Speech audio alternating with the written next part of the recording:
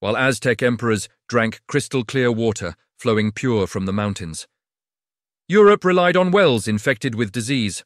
The Aztecs turned entire mountains into masterpieces of engineering. Aqueducts carved from volcanic stone, fresh water carried across miles of valleys. Even today, historians still debate how they kept everything so clean. But the answer was literally written in stone.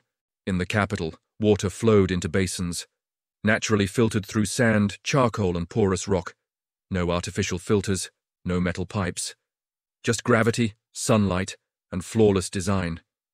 Not even rain was wasted. Rooftop channels captured every drop.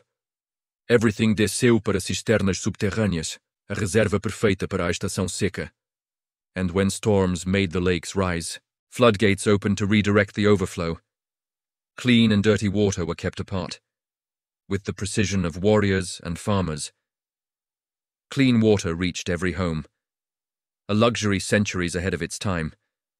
Meanwhile, in Europe, water and waste shared the same streets. Wells turned brown after every storm. Bathing was feared more than dirt itself. The Aztecs engineered clarity with stone and rain. Europe lived with muddy and myth. Follow and support this profile.